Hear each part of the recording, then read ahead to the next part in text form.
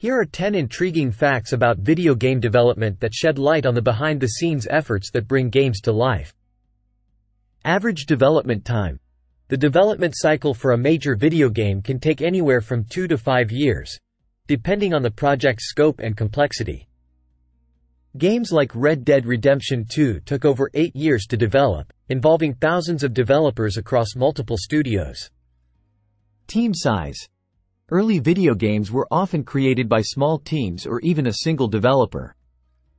Today, AAA games typically require hundreds of people, including designers, programmers, artists, writers, and testers.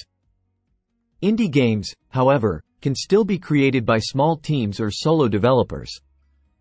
Budget. The cost of developing a high-profile game can rival that of a Hollywood blockbuster. For instance, Grand Theft Auto 5 had a development and marketing budget of around $265 million, making it one of the most expensive games ever made. Game engines. Many modern games are built using powerful game engines like Unity, Unreal Engine, and CryEngine.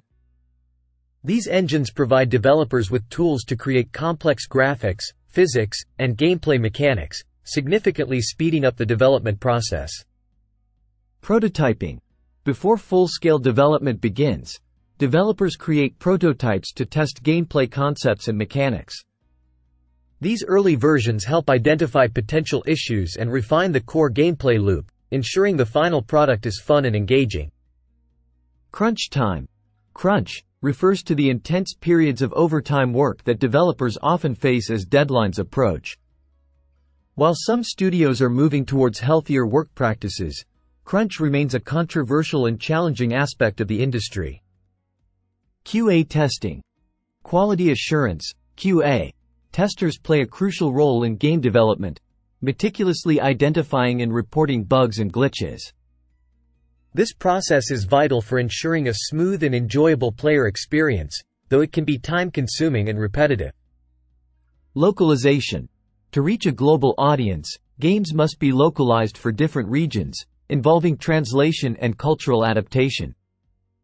This process can be complex, as it requires not only language translation but also adjustments to graphics, audio, and even gameplay elements to fit cultural norms. Cut content. Not all planned features make it into the final game. Developers often cut content due to time constraints, budget limitations, or design changes.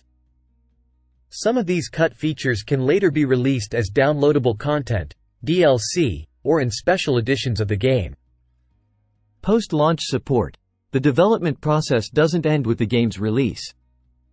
Post-launch support includes patches to fix bugs, updates to add new content, and community management to engage with players. Games like Fortnite and Destiny 2 are continually updated to keep the player base active and engaged. These facts about video game development highlight the intricate and multifaceted nature of creating a video game. From initial concept to post-launch support, the process involves a vast array of skills and a significant amount of time and resources, all dedicated to delivering immersive and enjoyable experiences to players.